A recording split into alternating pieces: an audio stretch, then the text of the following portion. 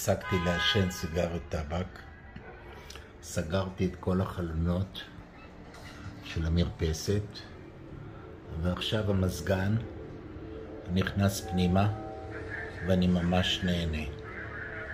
איך אפשר בלי מזגן? באמת, איך יכולתי? אז הנה הפתרון.